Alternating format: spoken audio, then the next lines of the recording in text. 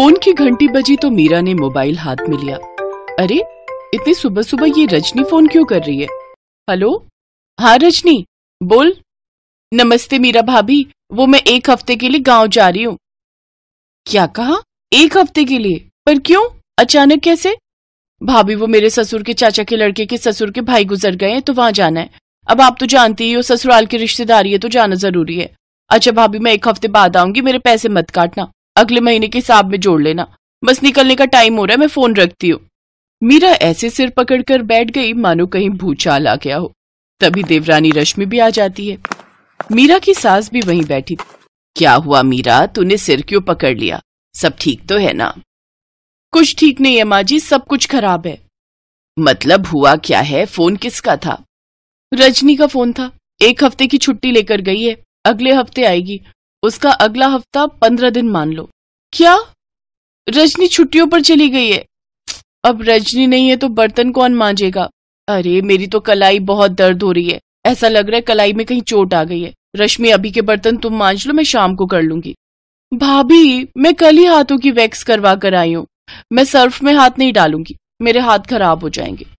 कल तो नहीं करवा कर आई थी। वैक्स करवाए हुए तो तुम्हें एक हफ़्ता हो गया है। झूठ मत बोलो, ये तुम्हारा बहाना है। कल तो तुम फेशियल करवाने गई थी।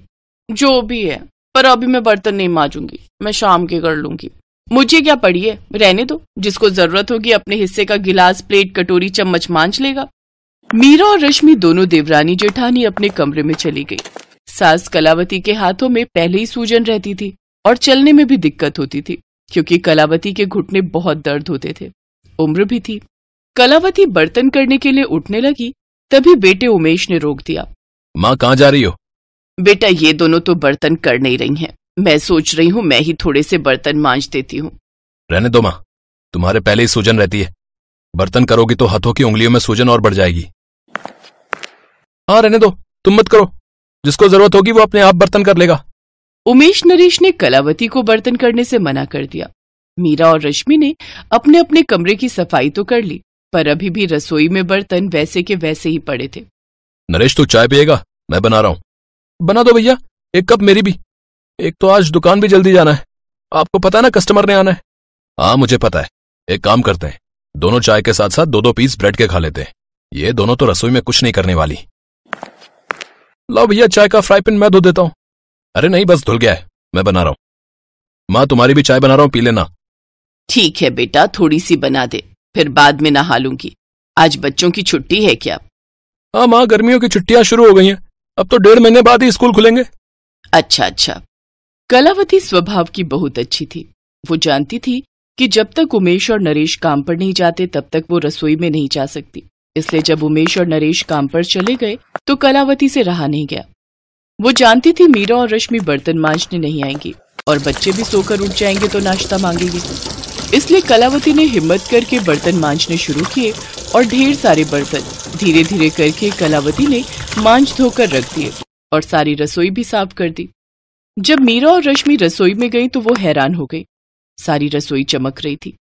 मीरा और रश्मि थोड़ी शर्मिंदा थी क्योंकि इतनी उम्र की होकर कलावती बर्तन मांझ रही थी और वो दोनों अपने कमरे में थी।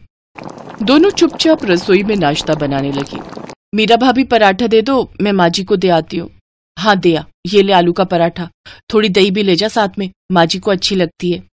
मीरा भाभी, मुझे लगता है हम दोनों ने बहुत गलत किया है। बेचारी माँ जी को इस उम्र में रसोई में बर्तन करने पड़े।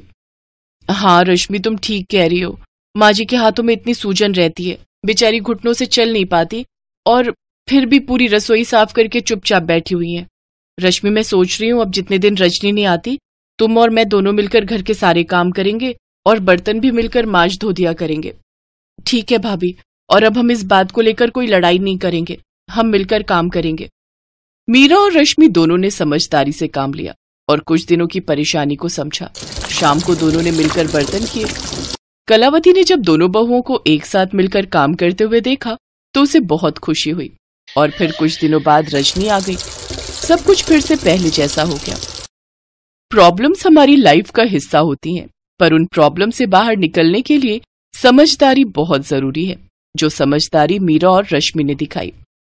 इस कहानी से हमें यही सीख मिलती है कि बिना लड़ाई झगड़े के जब काम को मिल बांट कर किया जाए तो काम बहुत आसानी से हो जाता है।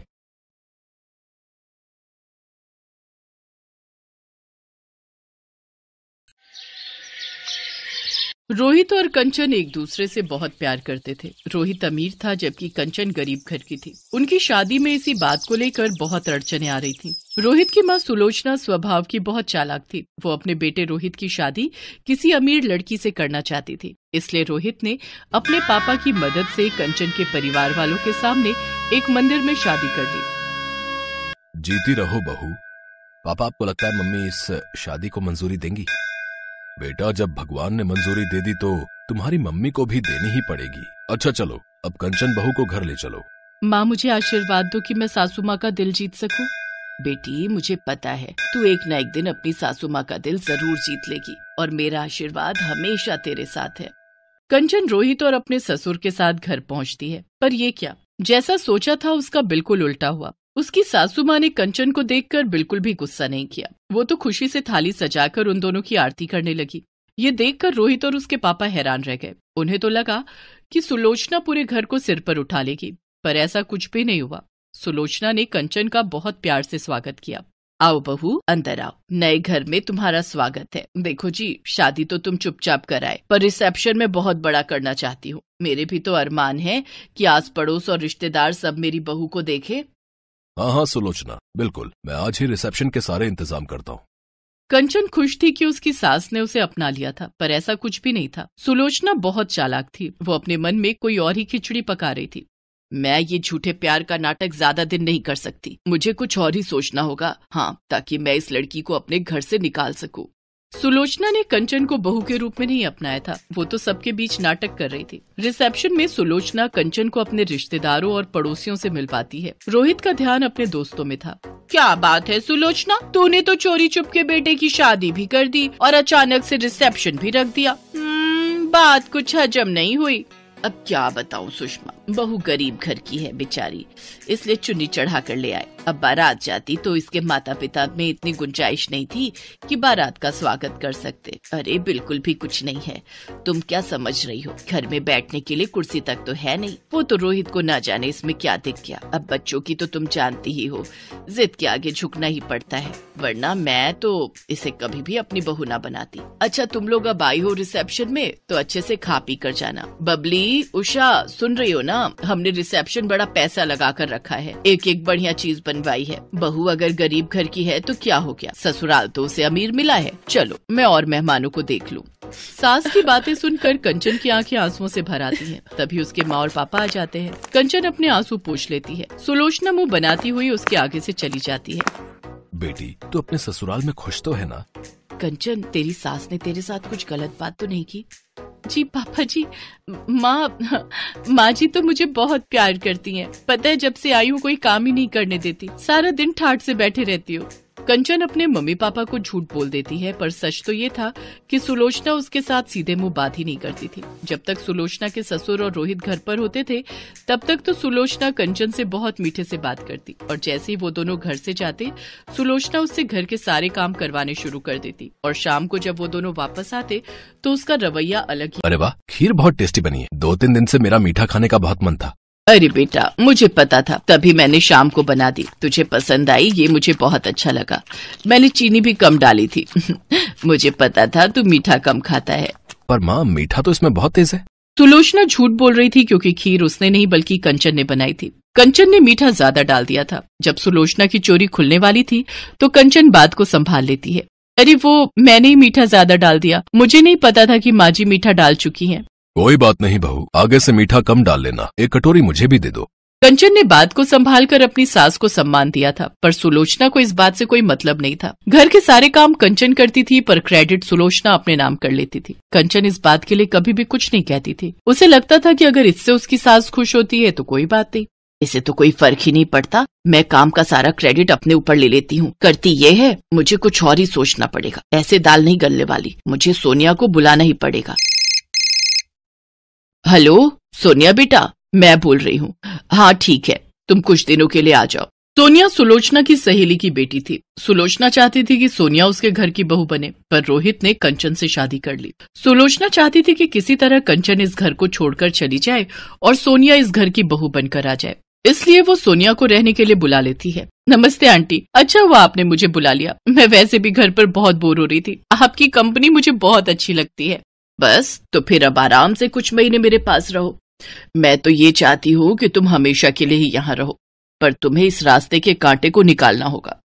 जब तक ये कंचन यहाँ पर है, तुम इस घर की बहू नहीं बन सकती। आप चिंता मत करो, आंटी। अब मैं आ गई हूँ ना? मैं इस कंचन को घर से निकाल कर ही दम लूँगी। बस तो फिर बन गई बात। तुम आज रोहित के लिए साउथ इंडियन खाना बनाओ। उसे साउथ इंडियन खाना बहुत पसंद है। दिल का रास्ता पेट से होकर गुजरता है। रोहित तुम्हारे हाथ का बढ़िया खाना खाएगा तो अपने आप तुम पर लट्टू हो जाएगा। पर आंटी, मुझे तो खाना बनाना आता ही नहीं है। मैं कैसे बनाऊँगी? अरे तो कोई बात नहीं। खाना कंचन बना लेगी। जब रोहित और उसके पापा आए तो मैं बोल दूँगी तुमने बनाया है। बस, हो गया काम। सोनिया रसोई में जाती है और कंचन को मीठी मीठी बातों में फंसाकर साउथ इंडियन खाना बनाने के लिए कहती है। कंचन। आज मेरा साउथ इंडियन खाने का बहुत मन है। प्लीज़ तुम डोसा, सांभर और इडली वगैरह बना दोगी बहुत मन कर रहा है। ठीक है, तुम बैठो, मैं तैयार कर देती हूँ। कंचन बहुत ही स्वादिष्ट साउथ इंडियन खाना तैयार करती है। रोहित और उसके पापा के आने का समय हो रहा था। तभी कमरे में से सुलोचना की चीखने की आवाज़ आती है। कंचन दौड़ती हुई कमरे में जाती है। बाथरूम में फर्श पर साबुन गिरा हुआ था। उस पर पैर फिसल गया। मेरी कमर। माची मैं डॉक्टर को फ़ोन करके बुलाती हूँ। चलिए आप आराम से बिस्तर पर लेट जाइए।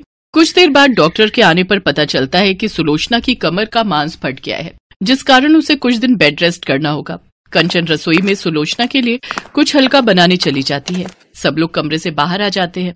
सोनिया, यही मौका है। तुम मेरी सेवा करके सबका दिल जीत सकती हो। फिर आराम से तुम इस घर की बहू बन जाओगी।